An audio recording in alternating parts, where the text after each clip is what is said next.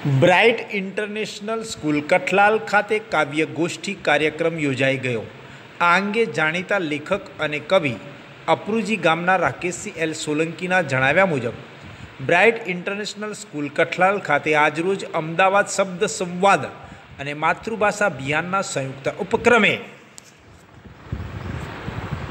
કાવ્ય ગોષ્ઠી કાર્યક્રમ યોજાઈ ગયો. આ કાર્યક્રમનો શુભારંભ દીપ પ્રાગટ્ય દ્વારા કરવામાં આવ્યો હતો. અદભેર મસ્તક નમાવ્યો. સુજન, અહીં શબ્દની ફર ફરે છે ધજા. આ પંક્તિને સાર્થક કરતા આજના કાવ્યગોષ્ઠી કાર્યક્રમમાં શબ્દ, સંવાદ અને માતૃભાષા અભિયાન વિશે માહિતી અને માર્ગદર્શન આપવામાં આવ્યું હતું. આ કાર્યક્રમના અધ્યક્ષસ્થાને ભાનુપ્રસાદ પુરાણી ઉપસ્થિત રહી પોતાની રચના રજૂ કરી હતી. ગાંધીનગર, કઠલાલ કપડવંચ અને અમદાવાદ સહિત આજુબાજુ પંથકના ખ્યાતનામ કવિઓએ આજે આ કાર્યક્રમમાં પોતાની કાવ્ય રચનાઓનું સૌને રસપાન કરાવ્યું હતું. જેમાં રાકેશસિંહ સોલંકીએ પોતાની કૃતિ રજૂ કરી હતી. તેમજ આ પ્રસંગે કવિઓનું સ્વાગત અને સન્માન પણ કરવામાં આવ્યું હતું. આ કાર્યક્રમનું સફળ સંચાલન કવિ હસમુખભાઈ શાહ બેઝાર સસ્તાપુરીએ કર્યું હતું. નીરજભાઈ શાહે માતૃભાષા અભિયાનને સફળ બનાવવા સાથે આભાર વિધિનો ભાર હળવો કર્યો હતો. કાવ્ય ગોષ્ઠી કાર્યક્રમને સફળ બનાવવામાં આયોજકો તેમજ કવિ હસમુખભાઈ શાહ, બેજાર શાસ્તાપુરી અને પરિવારજનોએ સુંદર આયોજન કર્યું હતું.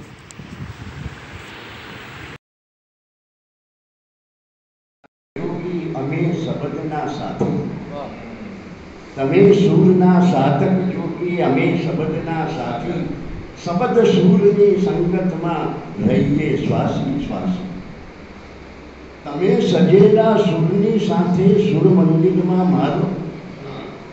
તમે સજેલા સૂરની સાથે સુર મંદિરમાં મારો. અમે શબ્દને શોધ્યા કરીએ તોય મળે ના તાળો. અમે શબ્દને શોધ્યા કરીએ તોય મળે ના તાળો. સૂર શબ્દમાં સૂર શબ્દને મેળવવામાં જિંદગી આખી જાતી. અમે શબ્દના સાથે.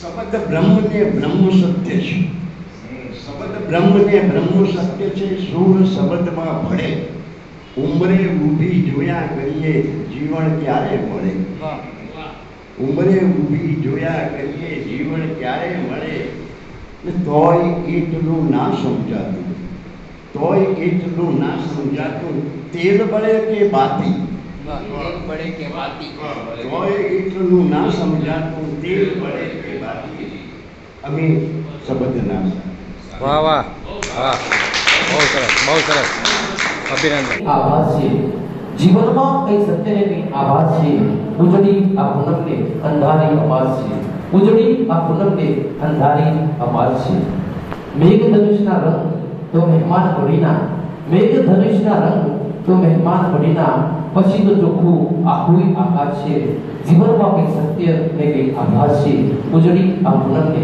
અંધારી અવાજ છે. વચનો અને કસમો, વચનો અને કસમો ખોટી હતી જેમના, વચનો અને કસમો ખોટી હતી જેમના. ભૂલી ગયા પછી તો બધુંય બકવાસ છે. જીવનમાં કંઈક સત્ય ને કંઈક આભાર છે. ઉજળી આ પૂનમને અંધારી અવાજ છે. ગઝલ એ તો લખવાનું બહાનું રાખે છે. ગઝલ એ તો લખવાનું બહાનું રાખે છે. બાકી એમાં બે લાગણીની સુવાસ છે. જીવનમાં કંઈક સત્ય એ કંઈક આભાસ છે.